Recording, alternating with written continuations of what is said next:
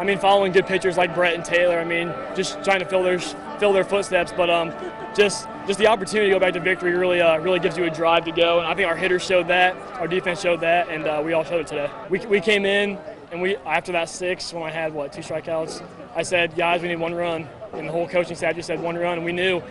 We knew that one run would have done it, and they gave me three, and that was just the, just the cushion we needed to uh, finish the game. We had a lot. We had to overcome a lot of different things uh, in the course of the game. You know, I thought Nick made a great effort in the ball down the line. They scored their one run on, and then we had a couple other scoring opportunities we didn't cash in, and our kids really battled, didn't hang their heads, and then in the sixth inning we broke through and uh, had some big time big time hits in that inning. Austin obviously was was awesome on the mound.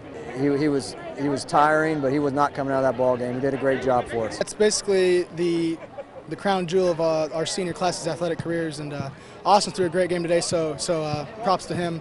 Pitched the game of his life, and I'm really proud of him. Coach said anywhere hit hard, you're staying, but uh, it was a chopper, so I decided to take off. And uh, I don't know, Callan was behind the plate telling me where to slide, but I didn't think the slide would do it, so I decided to go ahead and just jump over and.